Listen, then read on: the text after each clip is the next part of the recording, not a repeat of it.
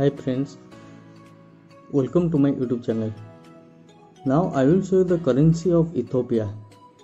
Ethiopia is the country in africa and the currency is called ethiopian birr it is a beautiful one birr which was the issue of 2002 2008 on the it is the front side of this note.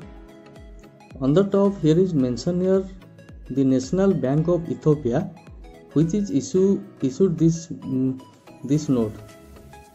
On this middle here is mentioned here one birr and it is the picture of a young man from ethiopia. On the on the right side here is mentioned here some cows and some mm, and some animals. It was the front side.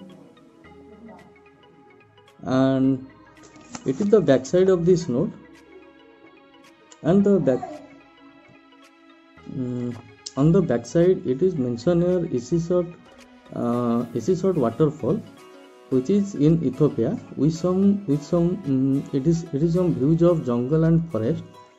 And it is the picture of beautiful two birds on the tree. And here is mentioned here one birr and one birr and uh, its size is 135 millimeter. This side is 135 millimeter and this side is 65 millimeter. And finally i have this beautiful ethiopia banknote which is added in my collection